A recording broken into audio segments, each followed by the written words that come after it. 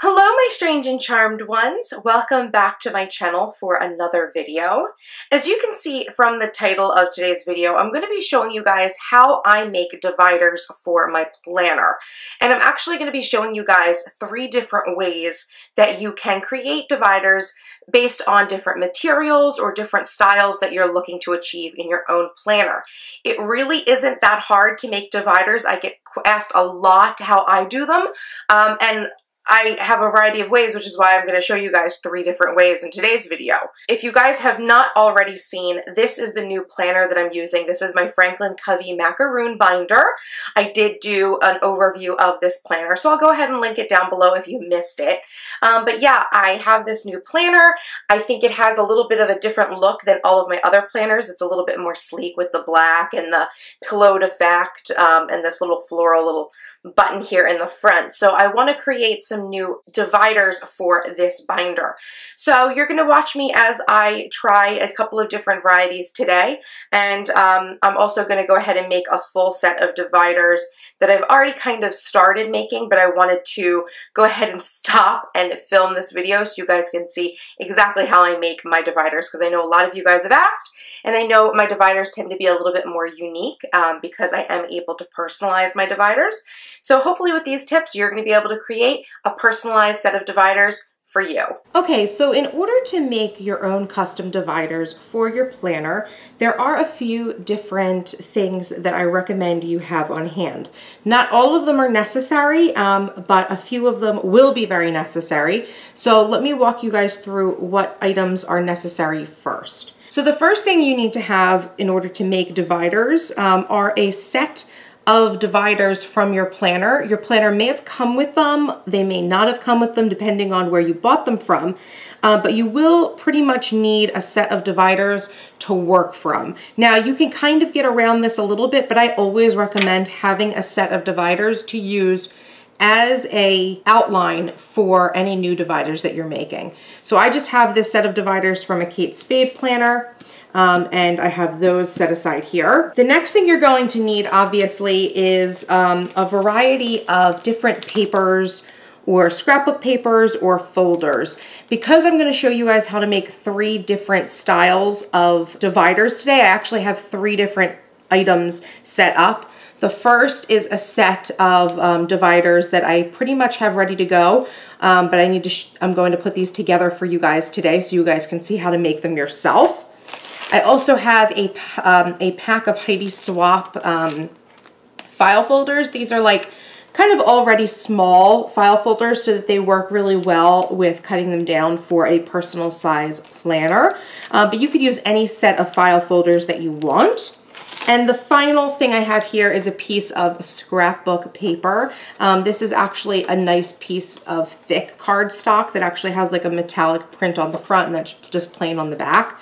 Um, so those are the three varieties I'm going to show you guys how to make today. I'm not going to be making full sets of them, but that should give you an idea. You're also going to need, obviously, a hole punch of some sort. I do have my open six hole punch that is adjustable. Um, so I've got it set on personal size because I am making personal size dividers today, but you could definitely use this exact same method to make a five or pocket or mini, whatever size planner or Filofax you have. Other than that, just need a pencil or a pen, just something to help you trace your dividers, scissors, an X-Acto knife, and a cutting board. Um, now, some of these things are optional. Obviously, if you only have scissors, just use scissors. If you have an X-Acto knife and a cutting board, I tend to like that because I think it gives me a little bit more um, control over my cutting uh, around the dividers. But it's all up to what you actually have. Um, and then again, another optional item here is going to be a laminator. I do have this Purple Cows laminator that was very inexpensive. I received it for Christmas. And um, a laminator is a really great thing to have if you're someone who wants to do a lot of crafting.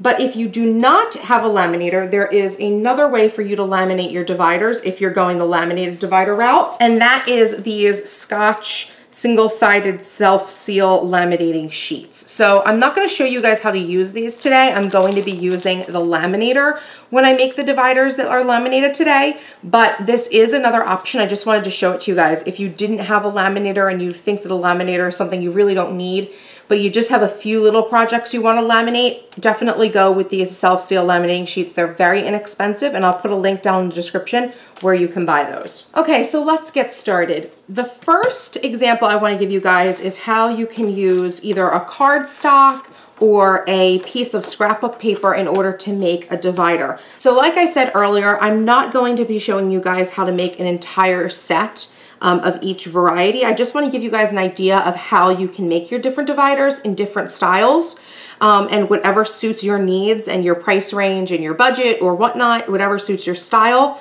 Um, there are a number of different ways you can make dividers and I've made dividers all three of these ways before. Um, so I'm just going to show you guys like an example for each. So the first one is this cardstock example I'm going to show you right now. Um, and because this is um, metallic almost on one side and then it actually has a plain paper on the back side, I'm just gonna go ahead and use the back side first. Now, whenever I make my dividers, um, I do try to be as conservative as possible with my paper. And this is obviously a piece of scrapbook paper that has been used. It was 12 by 12 and now it's, who knows, looks more like 8.5 by 11 at this point. But I don't need very much of it for my little personal divider. So all I'm gonna do is line it up um, on this paper on the back side, which is kind of the off side. Oops, now you know I realized I have to flip it because it's gonna go the other way. Keep that in mind, you guys, which direction your tabs are going um, for what's front and what's back on this while you're doing this because you wanna make sure that you're actually creating the right one you need. So I'm just gonna go ahead and trace this, tracing the tab, of course, which is very important. Um, and I'm, I'm gonna go ahead, yeah, I'll probably just go ahead and circle in where the tab, the holes are right now. Um, if you didn't have a six hole punch um, and you had just an individual hole punch, that would be a really good idea is to go in and trace in where your holes are actually going to be punched while you're at this stage. Um, it's not so crucial for me because I'm using a six hole punch, but it is just a nice extra step just to keep you on a guide. So now that um, we have the shape of the divider marked off, I'm just gonna go ahead and cut it out. Now I'm just going to use the scissor to cut out the tab just so I give a little bit more control. I find that I do better using scissors to cut out the tab section. Okay, so there is the divider. Now all we're going to do here, um, I'm going to go ahead and six hole punch this. I've just gone and I'm, I was actually, I kind of just eyeballed it. I was pretty close to the originals. But it doesn't really matter, like I said, because this is a six hole punch, so I know that I'm gonna get a good spacing um, on the divider either way. So at this point, um, you could actually use this as a divider because this paper is actually a little bit harder, or you could run it through the laminator. Um, you could even go ahead and use another piece of scrapbook paper and do the exact same thing and just paste it to the back of this so that you didn't have a white back. It's all up to you, um, but that is generally how I would cut out a divider if I was using scrapbook paper. So the next method I'm going to show you guys is using a file folder. And like I said, I'm using these Heidi Swapp little memory files because they're a really good size and I like the patterns. A good thing about using file folders for your divider is that you really don't have to feel like you need to laminate them, which is one of the benefits of using them. What's also good about them is that they're generally double-sided, so you don't have the issue like you did with this example that one side actually has a pattern and the other one is blank. So if you're someone who knows they want a double-sided divider and maybe you don't feel like laminating them or you don't think that's necessary, then using cardboard file folders is a really good idea. Now these ones are completely like cardboard or cardstock. Sometimes you can get laminators like the ones at Target that actually have that wax coating. Um, so yeah, either one of those is fine and generally speaking they're all double-sided um, so that the back is just as attractive as the front. So I'm just going to go ahead and I think I'll take this floral one. That's cute.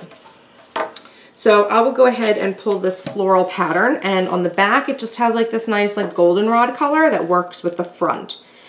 So these already have tabs, um, but I tend to think that they're too large for my personal size planner. So again, all I'm gonna go ahead and do, and maybe I'll use the second tab in my file for this, um, I'm gonna go ahead and take another tab And I think I want this pretty color, the pretty pattern to be in the front. So this is all up to you. It's all what you feel like doing. I'm just gonna go ahead and line this up. And it looks like I am gonna have to line it up on all four sides. It doesn't have a flat edge necessarily for me to use.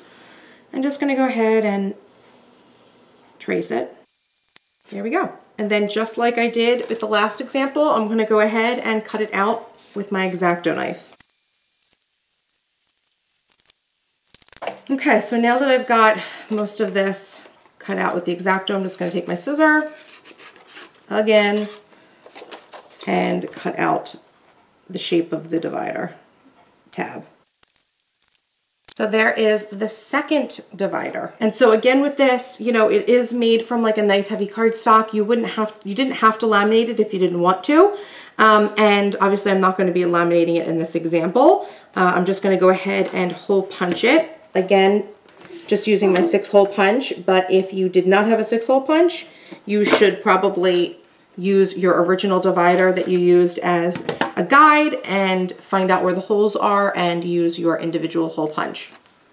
So that is the second divider.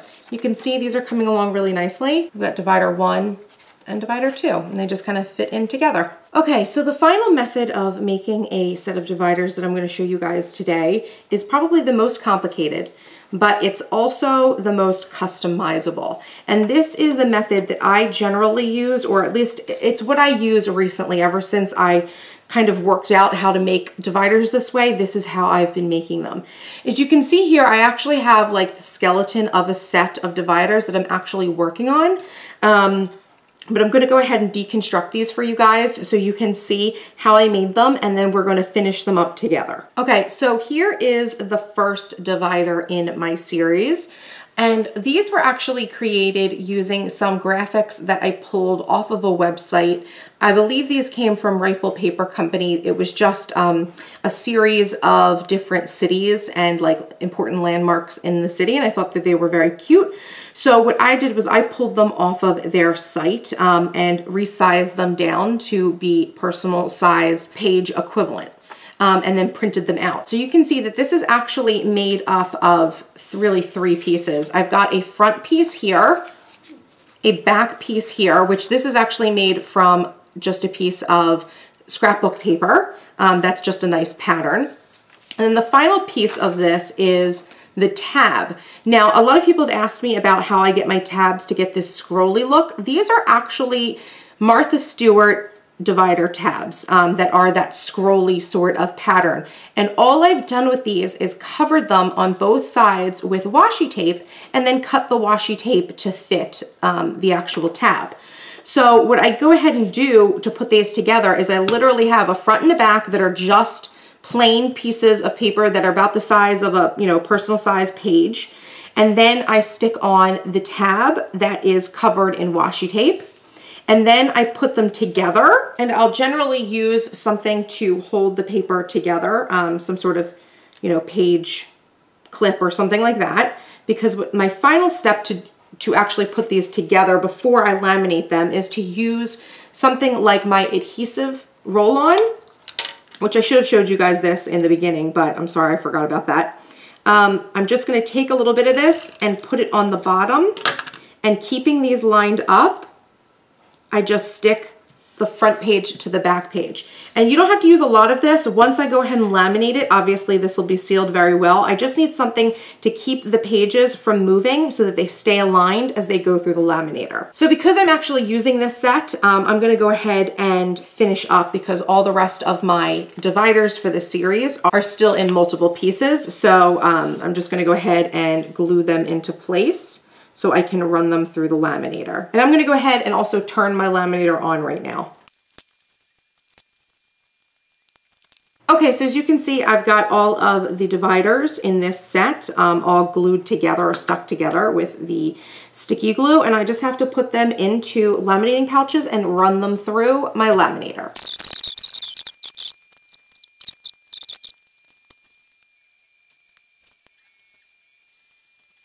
Okay, so this is one pass through my laminator. And generally speaking, one pass is really all you need. But because these dividers are a little bit thicker because they're double-sided and they have the really thick Martha Stewart tab, I'm gonna go ahead and run this through a second time just so I know that when I cut them up, um, they are as secure as possible. Okay, so that looks pretty good. Um, I do still see a little bit of air bubbles, so probably once I cut these out, I'll run them through the laminator again individually, um, but I don't want to waste any more time. I'm going to go ahead and put the second set in the laminator.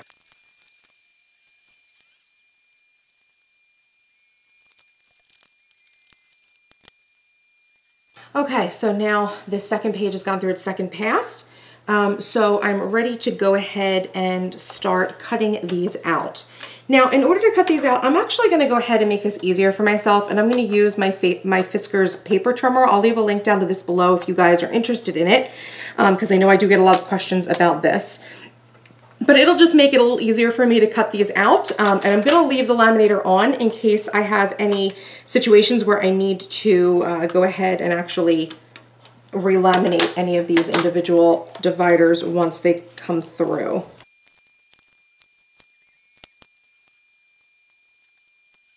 Okay, and because I am laminating these, I just wanted to say, now that I have one of them done, um, I do like to leave a little bit of an edge so that they don't pop out, but I do try to get these edges as small as possible. So it's really just a judgment call and you'll kind of, I feel like you'll get better at this as you get more experience with using laminators and things like that. I will say that when I do use the self-laminating sheets, these guys, you tend to be able to get very, very close to the edge um, and they still hold up very nicely. That's because these are just basically uh, contact sheets, contact paper sheets. And as long as you have a little bit um, of plastic contacting on each side, it pretty much holds up. It's not the same as this laminating where you're actually sort of melting the plastic together. Um, but usually just one more trip through the laminator does really well. Yeah, and that looks really good. It looks nice and sealed. And I'm gonna go ahead and finish the rest of these.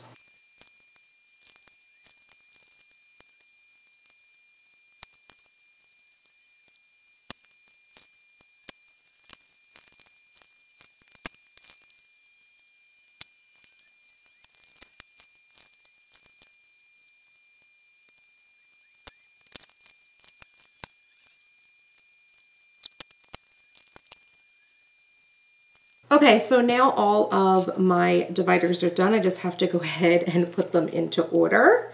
Um, so I'm just gonna go ahead and try to figure out what order they went in. this and this. Okay, good. Great. Perfect. So the next thing I'm gonna go ahead and do is punch them with my six hole punch. You guys have already seen me do this. Okay, so here are the final dividers. I'll just do a little flip through so you guys can see them.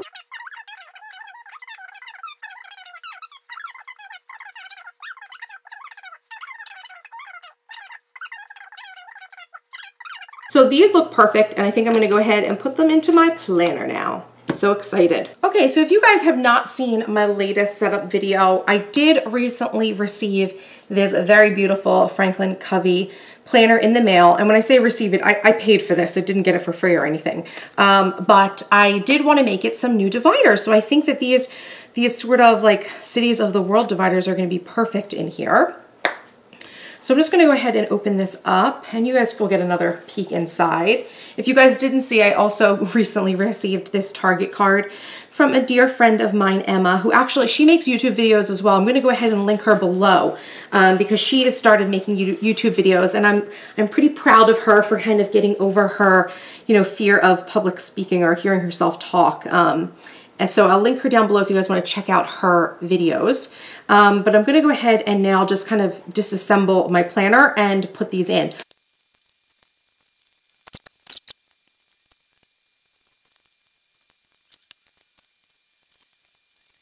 Okay, so here are my new dividers. I think they look excellent inside of my planner. And I'm really excited because I haven't had new dividers in a little while. And because there are six of them and I really only have five sections, I'm using the last one in the back um, pretty much as a page lifter to get to the back folder. So as you can see, they're double-sided as well, which looks great, I think. And I just think, I think it did a great job. Um, and I think that this is a really easy process relatively. Just kind of a fun sort of project to do on your own um, to make your planner look more personalized and just more to your tastes. Okay, so that's it. That's all you have to do to create a set of dividers for yourself.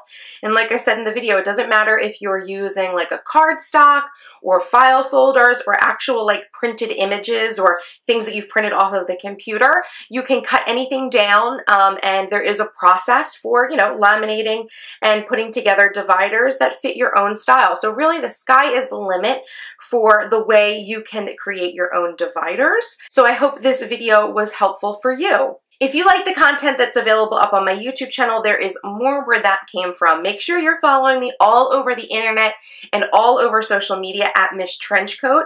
And of course, make sure to visit my blog, Strange and Charmed. I'll go ahead and leave all of my links down below in the description box so that you can follow me all over the web and keep up with all of the fun and creative things that I'm doing. Of course, leave me any questions down below in the comments. And if this video was helpful or if you'd like to see more DIYs, please go ahead ahead and give this video a like. And of course, make sure you're subscribed for more awesome videos by me. Thank you guys so much for watching and I'll see you in the next video. Bye-bye!